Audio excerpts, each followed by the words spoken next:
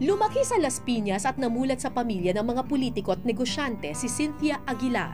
Higit dalawang dekadang naging alkalde ng Las Piñas ang kanyang amang si Filemon Aguilar. Samantalang may-ari naman ng rice mill ang kanyang ina na si Lydia Ampaya. So, nung bata pa lang po ba kayo, Yeah. naisip nyo nang papasok kayo sa politika? No, no. It's just that uh, I helped my father, but I never thought of going to politics. My my vision then was, kasi father ko lang ang nag-politician, so it's for the boys. Ano pong pangarap ninyo nung growing up? Mag-business. Oh, I, I studied business, so I'm looking forward to a business life. know. I even sold ice candy when Hindi I was young. Bakit Oh, po? Eh, Eh, may tindahan yung mother ko sa harap ng bahay namin. May mga freezer siya. Nagtitinda siya ng chicken kasi we had poultry. Nagtinda na rin ako ng ice candy. Nakapagtapos ng kursong Business Administration sa University of the Philippines si Cynthia at sa UP rin unang nagtagpo sina Cynthia at Manny. do you Lahat. remember the first time you met him? I cannot remember, but I've always remembered yung nakaklase ko, Oo. ah, kabarkada. Pero nagwapuhan na po kayo sa kanya. Hindi yata ako mahilig nun sa gwapo. mahilig ako sa pangit. Nagkataon lang. Noon naman, hindi ka nililigawan, parang... ah, walang ano, ligaw-ligaw naman? Parang gusto mo na, hindi na yung corny na magliligawan pa. MU. Mutual So, understanding. ano, walang ligaw stage. Si Manny Di naman. never courted you. In a way, pero corny naman nun.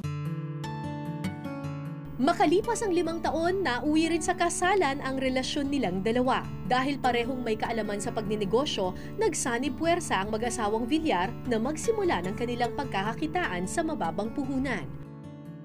May two trucks kami na nagdi-deliver kami ng gravel and sand sa mga gumagawa ng bahay. So, kati deliver niya siguro ng gravel and sand. Eh, sabi niya, madali din palang gumawa ng bahay. I'll just start making houses. So, nagsimula siya, dalawang bahay, tatlong bahay, then dumami ng dumami. You know, business, they, they, they don't start big. They you start small, and then you grow. Magkano po yung sinimulan ninyong puhunan? Para 10,000. 10,000 pesos? Oo. And then we borrowed money to from a small bank. Yun ang dinown payment namin sa truck. And then we borrowed the rest. Yung trucking kasi sa first three years yan, laki ng kita. Tapos masisira na yung truck. So you have to really uh, iipunin mo yung lahat ng kita. So that would be the start of of your bigger business. Tapos, paano po nangyari na lumago ng lumago yung inyong real estate business? it grew slowly until the 20th year.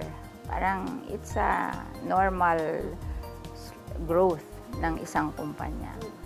But on our 20th year, ano kami, mid-size company kami. We went IPO in 1995 and we raised capital from abroad.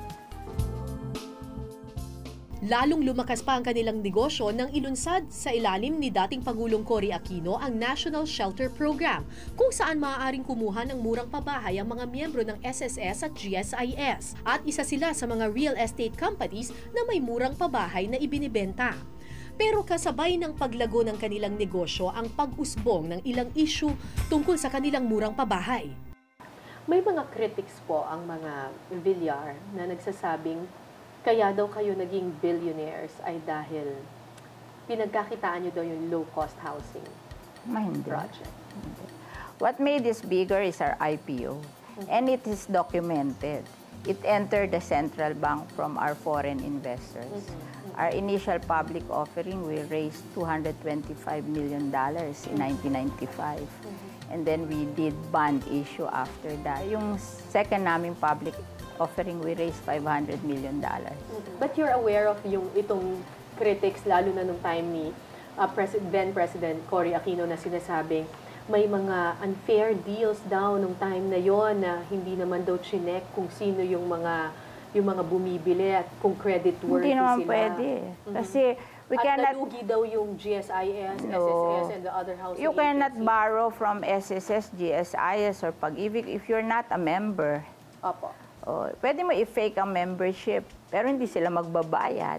Mm. Wala naman kaming ganun eh.